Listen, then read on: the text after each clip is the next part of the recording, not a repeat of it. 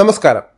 Indian ആരാധകരുടെ പ്രാർത്ഥന പോലെ തന്നെ ലോകകപ്പിൽ രണ്ട് മത്സരങ്ങൾ ബാക്കി നിൽക്കെ രോഹിത് ശർമ്മയും സംഘവും സെമി ഫൈനലിന് ടിക്കറ്റ് എടുത്തിരിക്കുകയാണ്.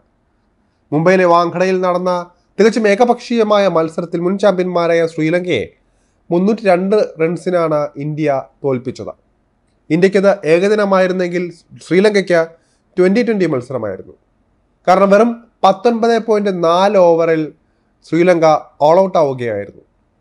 ടൂർണമെന്റിൽ ഇത്തവണ ആദ്യം സെമി ഫൈനലിൽ സ്ഥാനമുറപ്പിച്ച ടീം കൂടിയായി ഇന്ത്യ.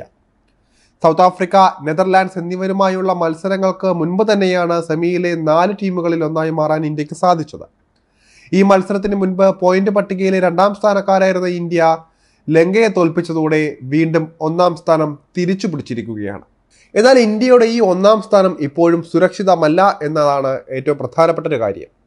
ഒരുപക്ഷെ രണ്ട് ദിവസം കൂടി മാത്രമേ ഇന്ത്യയ്ക്ക് തലപ്പത്ത് തുടരാൻ സാധിക്കുകയുള്ളൂ. ഇന്ത്യയെ പിന്തള്ളി സൗത്ത് ആഫ്രിക്ക വീണ്ടും ഒന്നാമതെത്താനുള്ള സാധ്യതകൾ ഇപ്പോഴും നിലനിൽക്കുകയാണ്.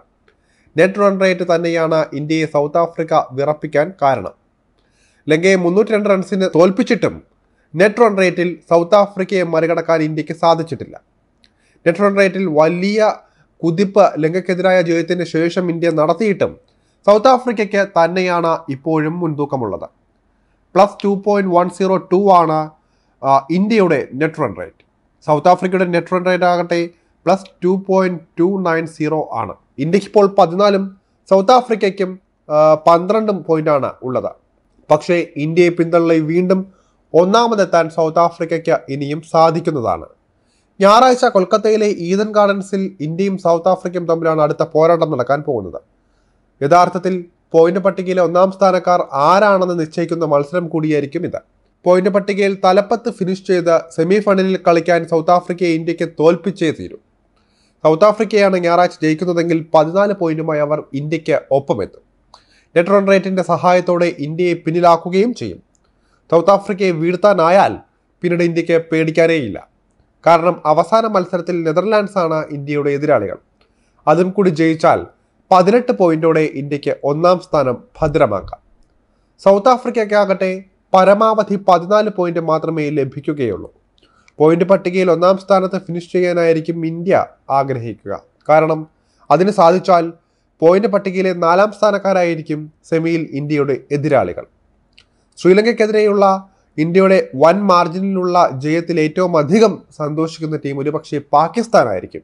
കാരണം സെമി ഫൈനൽ ലക്ഷ്യമിടുന്ന പാകിസ്ഥാന് വെല്ലുവിളി ഉയർത്താൻ സാധിക്കുന്ന ടീമുകളിൽ ഒന്നായിരുന്നു ശ്രീലങ്ക. എന്നാൽ ഇന്ത്യയോട് തോറ്റതോടെ അവർ പുറത്താകലിന്റെ വക്കിലെത്തിയിരിക്കുകയാണ്. നെറ്റ് റൺ റേറ്റും കൂടുതൽ മോശമായിട്ടുണ്ട്.